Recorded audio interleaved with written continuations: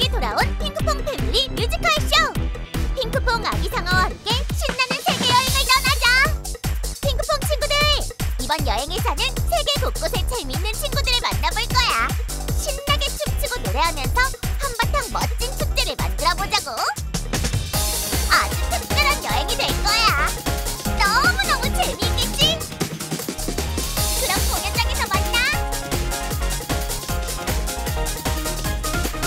피아니스트 이윤찬인 피아니스트 이윤찬 군이 반클라이번 콩쿠르에서 역대 최연소로 우승을 차지했습니다.